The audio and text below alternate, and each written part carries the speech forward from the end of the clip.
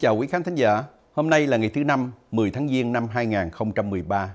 Chương trình phát hình của bản tin qua tình đốm gồm có phần tin đáng chú ý, bản tin phân tích thời sự với vàng lý, phần nhận định của bình luận gia Đại Dương và sau cùng là bản tin đặc biệt trong ngày với Võ Thành Nhân và Nguyễn Văn Khanh.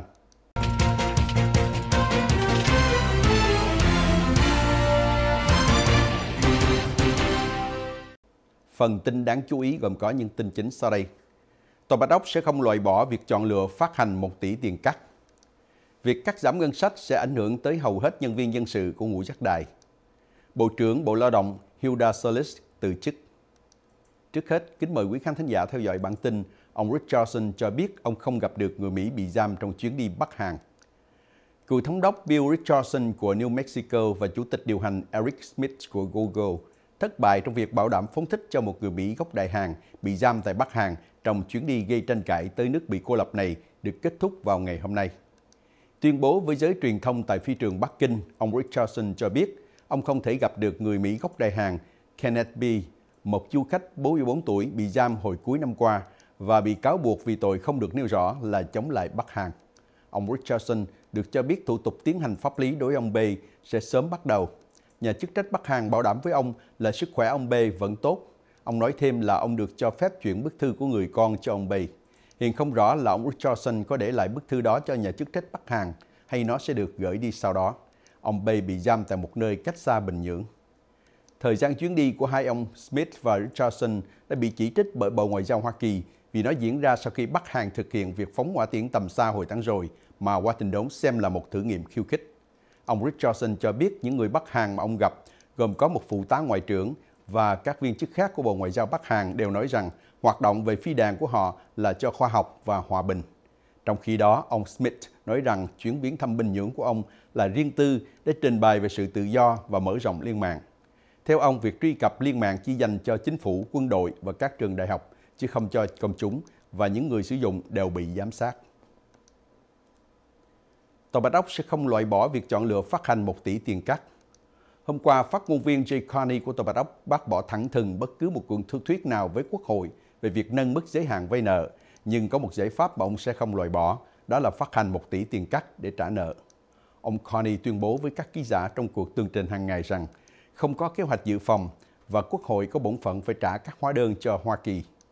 Khi được hỏi là liệu rằng chính phủ có loại bỏ việc phát hành tiền cắt hay không nếu Quốc hội không hành động, ông Carney không trả lời trực tiếp, mà chỉ nói rằng người ta có thể suy đoán nhiều việc khi Quốc hội có thể giải quyết vấn đề dễ dàng. Khi bị cật vấn thêm về lý do tại sao ông không đưa ra câu trả lời rõ ràng, ông Carney đã đề nghị chuyển câu hỏi trên cho Bộ Tài chánh.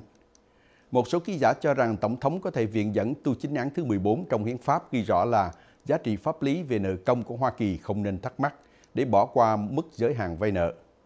Đối với câu hỏi này, ông Carney đã đưa ra câu trả lời thẳng là tu chính án thứ 14 không áp dụng cho mức giới hạn vay nợ. Được biết ý kiến phát hành 1 tỷ tiền cắt đã được cổ võ bởi nhiều người mà trong đó có một kinh tế gia của American Enterprise Institute.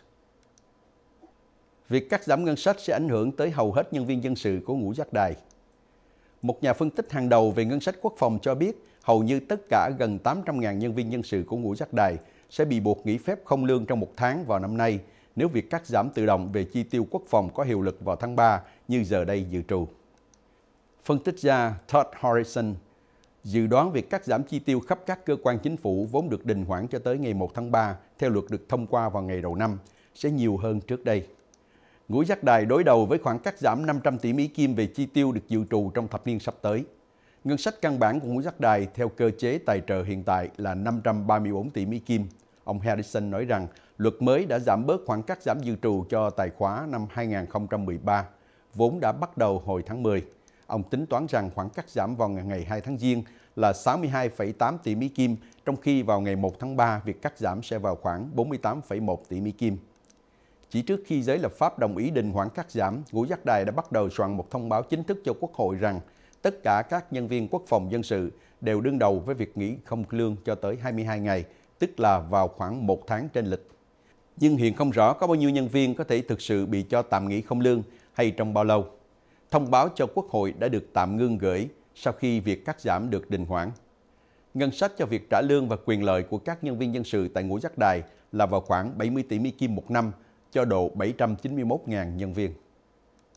Ông Biden cho rằng Tòa Bạch Ốc có thể hành động mà không cần Quốc hội như là một phần của kế hoạch kiểm soát súng. Hôm qua, Phó Tổng thống Joe Biden nói rằng Tòa Bạch Ốc có thể dùng sắc lệnh hành chánh để đối phó với việc kiểm soát súng mà không cần Quốc hội can dự vào khi ông khai mạc một đợt phiên họp nhằm tìm cách để ngăn chặn bạo động về súng. Khi Phó Tổng thống gặp gỡ các nhóm chủ trương an toàn về súng và các nạn nhân, ông nói rằng ông xác quyết sẽ hành động khẩn cấp để giải quyết bạo động về súng. Ông cũng cho biết hành động lập pháp riêng sẽ được đòi hỏi tới. Trong số những nhóm cổ võ kiểm soát súng tham dự phiên họp hôm qua là Arizona for Gun Safety, Brady Campaign, Campaign to Keep Guns Off Campus và Mayors Against Illegal Guns.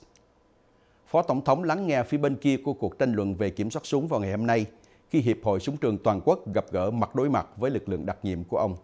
Ông Biden cũng sắp xếp một phiên họp với các đại diện của ngành giải trí và trò chơi video. Tại Quốc hội, Thượng nghị sĩ Dianne Feinstein lại thúc đẩy việc tái lập lệnh cấm liên bang về vũ khí tấn công, nhưng Quốc hội cũng bị công kích vì một loạt thời hạn chót cho nhiều vấn đề tài chính như mức giới hạn nợ, cắt giảm chi tiêu tự động và ngân sách liên bang. Vì thế, theo Thượng nghị sĩ Mitch McConnell, việc cứu xét tới luật về súng sẽ bị hoãn lại trong ít nhất 3 tháng nữa. Các viên phụ tá của ông Obama cho biết Tổng thống vẫn dự định hành động sớm đối với những đề nghị của ông Biden. Tổng thống đã kêu gọi Quốc hội tái lập lệnh cấm vũ khí tấn công kiểu nhà binh, khép lại các khe hở cho phép người mua súng tránh né việc kiểm soát lý lịch và hạn chế loại đạn có khả năng cao. Ngoài những phiên họp của ông Biden trong tuần này, Bộ trưởng Bộ Giáo dục Orny Duncan sẽ gặp gỡ các nhóm nhà giáo và phụ huynh, trong khi Bộ trưởng Bộ Y tế và Nhân sự vụ Kathleen Sebelius sẽ gặp gỡ những nhà cổ võ về sức khỏe tâm thần và sự mất năng lực.